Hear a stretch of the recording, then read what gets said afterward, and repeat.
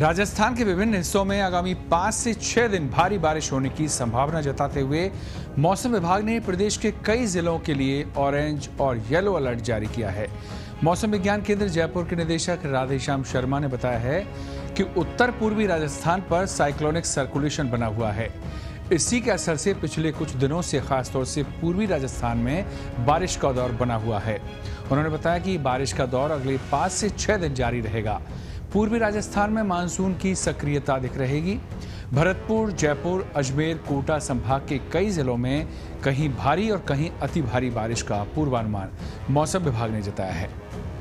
उन्होंने बताया कि जोधपुर, पाली, नागौर सहित कुछ इलाकों में भी बारिश की गतिविधियाँ रहेंगी। इसके साथ ही जयपुर और आसपास के क्षेत्र में भी कहीं मध्यम तो कहीं भारी बारिश की भी संभावना मौसम विभाग ने जताई है।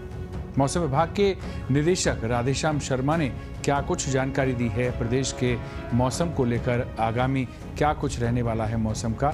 ये उन्होंने जानकारी दी। देखिए आप। उत्तर पूर्वी राजस्थान और आसपास के क्षेत्रों के ऊपर एक साइक्लोनिक सर्कुलेशन बना हुआ है और ये सतह से 5.8 किलोमीटर ऊंचाई तक विस्तृत है।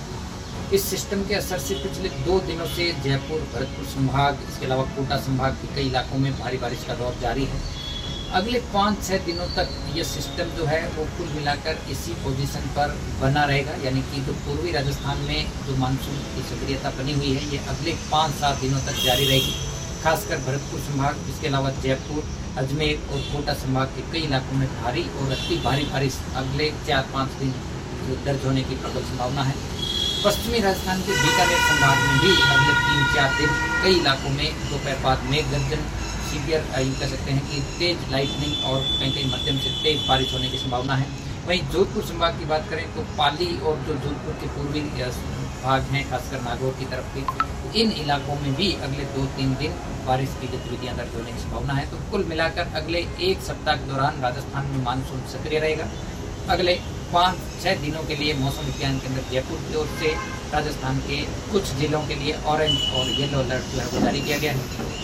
जयपुर की बात करें तो जयपुर शहर में भी अगले पाँच छः दिन रुक रुक कर मध्यम से तेज बारिश के दौर तक होंगे। इस दौरान में कहीं भारी बारिश भी जयपुर और आसपास में दर्ज होने की संभावना है।